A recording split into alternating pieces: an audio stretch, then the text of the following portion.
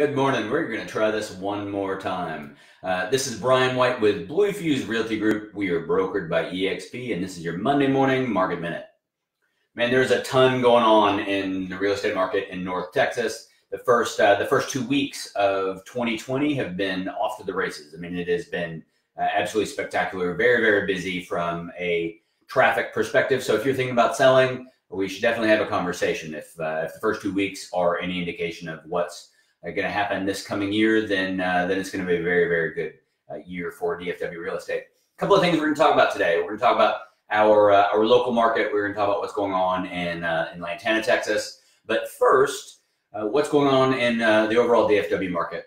The Dallas Morning News came out with a report last week saying that uh, the Dallas Fort Worth is expected to be the fastest growing population in uh, in the U.S. through 2029. So the next 10 years, the Dallas Fort Worth population is going to grow faster than any other market in the country.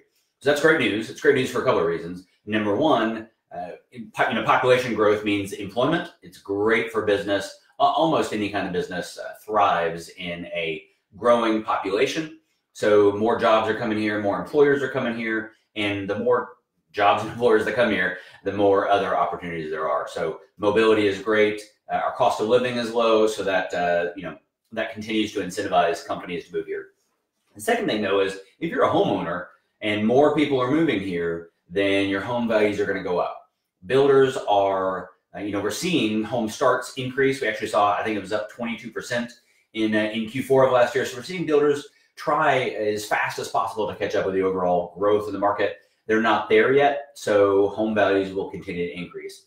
You know, I know it can be challenging and and not everybody wants uh, wants the population, the, additional traffic to uh, to add to our area. But but overall, the benefits of a growing population in terms of uh, income increasing, job opportunity increasing, and, and property values increasing end up being a uh, just a boon for for the market overall. So what's going on in uh, in Lantana specifically? So the first thing, and this is shocking. This is really is shocking we're at a 10 year low of listing inventory in Lantana. So as we exited uh, 2019, we haven't seen an inventory level in Lantana this low since July of 2009. July of 2009. So it's been 10 years since we've seen this few listings on the market. What's interesting though is that doesn't mean that there's a lack of interest. So when, when you look at November and December, uh, the number of showings was actually up so when more people are looking and there are fewer homes on the market, that means that the homes on the market get all of the attention. And uh, that certainly was the case this last weekend. So we, uh, one of our open houses yesterday just had tremendous traffic. It was really shocking. It was like a, uh, a midsummer level of, of traffic. Now, I don't know if that's because of the snow and people are just ready to get out of the house and do something or, uh, or what, but we certainly saw tremendous traffic uh, th- this past weekend. So there's really just not much inventory on the market. That means if you're thinking about selling, really at any point in uh, in 2020, that doesn't mean you need to sell now. That doesn't mean that you know we're going to put a, a, full court press on you or anything to, to sell right now. But you know, my, my favorite one of my one of my favorite classes in college. I didn't go to many of them, but but this was my favorite. Is you know it's just economics 101, and this idea of uh, of supply and demand. So if you're thinking about selling your home, then you want to do that when demand is high and supply is low.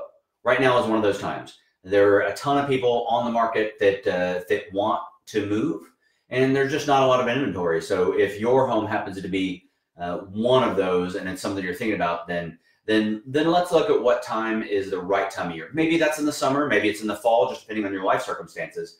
But uh, but we, we should absolutely have a conversation now to talk about your plan for the year and make sure we get the timing right. Now, now when you move, where you're going to go, uh, that is an opportunity, particularly if we're thinking about uh, new construction.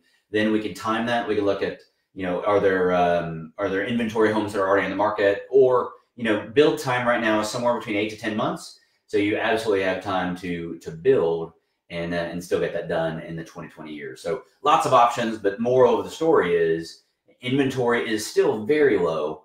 Um, you know, there's still demand is still very high, and it's a great opportunity if uh, if you're trying to sell. If you got questions on any of this stuff, and, and again, if you're thinking about selling this year, then we would love to talk to you. Just give us a call. You can reach out or uh, or message us here at uh, Blue Fuse. because at Blue Fuse, we make the real estate experience awesome for you. Thanks, guys. Have a great week.